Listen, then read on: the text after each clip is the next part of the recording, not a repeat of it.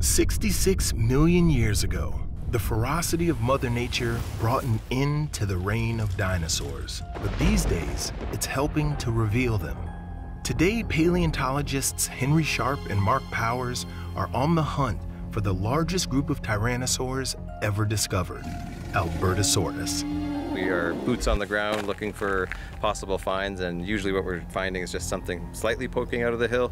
Everything can be found here. You just got to spend enough time looking. The art of dino prospecting has changed little in more than a century. Time, patience, determination, and some luck. Over time, nature's elements have combined to help erode the rock and expose these buried dinosaurs once more. And it was while simply patrolling these hills that Mark and Henry made a spectacular discovery. It was at the end of the day, we were tired, we hadn't found anything. But to motivate ourselves, we kind of just kept saying, one more sandstone, one more sandstone. Eventually we got to one layer where we spotted uh, some bones kind of eroding out of the hillside. And as, uh, as Mark was kind of standing up to look and, and see how far it went in either direction, I happened to look down at his boots and he's standing on what ended up being uh, Rose's femur. They had stumbled upon the leg bone of an Albertosaurus, but they soon realized there was much more here. Lying just below the surface was the remarkably complete skeleton of a teenage tyrannosaur they named Rose. We found the, the tibia was still connected to it, and then as we explored that, we found that the foot was still there, so everything was just together and just more and more bones were popping up. Including a piece of her skull, which could help give greater insights into how these predators hunted. Albertosaurus were ferocious carnivores and terrifyingly appear to have hunted in groups. It's thought that the faster juveniles like Rose would have used their speed to flush out prey, driving them into the stronger jaws of the waiting adults. Really nice fossils, especially of tyrannosaurs like Albertosaurus. Uh, they're, they're super, super rare. When you get to find those, ah, it's, it's the greatest feeling in the world. But that feeling can be fleeting. Because the weather that helped reveal Rose is now her biggest threat. Exposed to the elements for the first time in over 70 million years, these fossilized bones are prone to erosion and degradation, needing to be protected at all costs or being lost forever. But before the team can safely remove Rose's skeleton, the weather takes an alarming turn.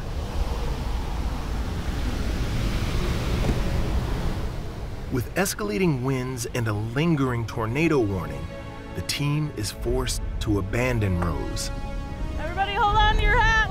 They do their best to protect their fragile discovery. Get the rest of the quarry covered and everything. I don't think we'll get all of it. Put a rock on top and rocks around. Yeah. Okay. All right. Let's get the hiffle out of here. If we found a bit of the skull, that means Rose's ghost is Sure. Screaming at us. They retreat down to base camp.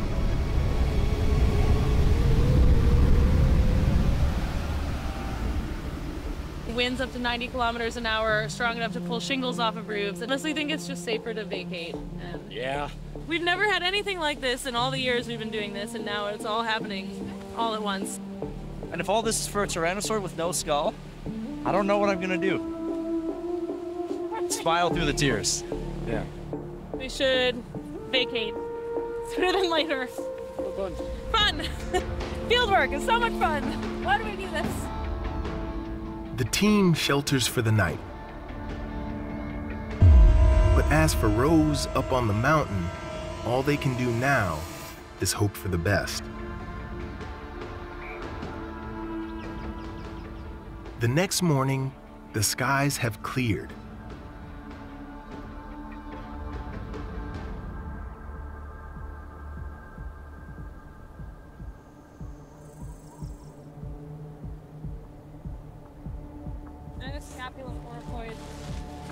But has the vital fossil evidence survived the night?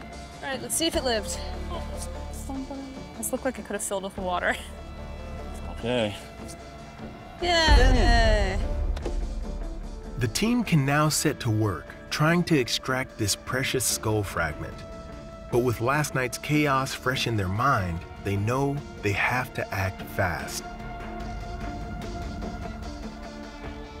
The weather can be a fickle friend to paleontologists. Without it eroding away the rock and earth beneath our feet, the stories of dinosaurs could remain untold forever. But the joy of discovering a dinosaur skeleton offers no guarantee that it will survive a second extinction at the hands of the very same elements that helped uncover it. Want more prehistoric stories? Head to the PBS app or pbs.org to watch Walking with Dinosaurs. 25 years after the iconic original series, the new Walking with Dinosaurs reveals the incredible stories of these long lost giants, brought back to life through state of the art visual effects. Check out the link in the description to watch this amazing show.